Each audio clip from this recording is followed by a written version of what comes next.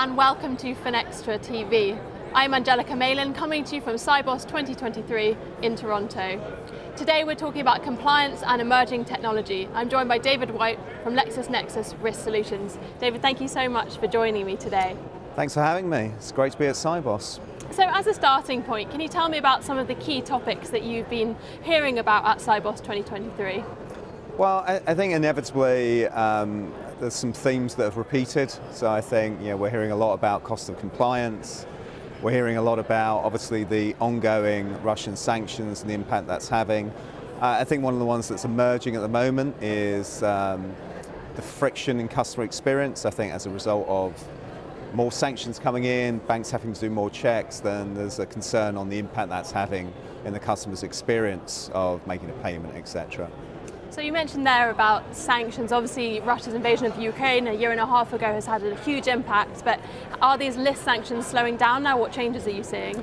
Well, I think uh, that there is a slowdown inevitably, and I think obviously what we saw last year was a, a, a massive flurry of sanctions come in and, and quite a bit of uh, work required to accommodate those, etc. Um, I think a lot of that has slowed down and now they've become almost business as usual within the sanctions environment. So I, I do think there is a slowdown. I don't think change has finished. I think inevitably as the geopolitics of this plays out, we are going to see an ongoing evolution of that sanctions regime and how you know, the EU, US, uh, etc., choose to try and increase the pressure on, on Russia as a result of using sanctions. Are there other areas emerging beyond Russia that you've noticed? I think, I mean, we've got some ongoing themes that continue, uh, obviously Iran, etc., but I think probably what we're seeing is more of an evolution of how sanctions are used. I think what we saw with the Russian invasion is we're going on beyond just sort of uh, what I would call the standards around sanctions that they've been before to things like asset seizures, etc., which are sort of moving over more almost to reputational risk the banks are taking in financing certain assets or certain asset classes. So uh, probably not an expansion so much in geographies, but certainly an evolution in the type of sanctions that have been used. And what about technology? What's the role of emerging technology when it comes to tackling some of these problems?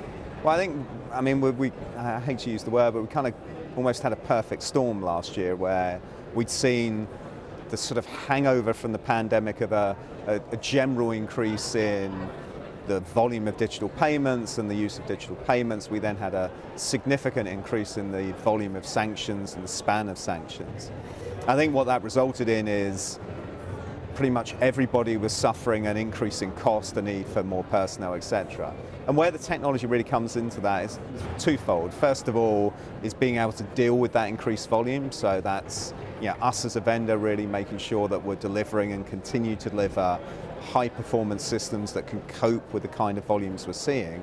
But also then the, the use of AI and uh, emerging technologies like that to try and reduce that cost of compliance. So the more we can automate, the more we can use statistical models or, or, or artificial intelligence models to automate the, the processes, then we can return that cost of compliance down to, to the levels that we, you know, we hope to keep it at.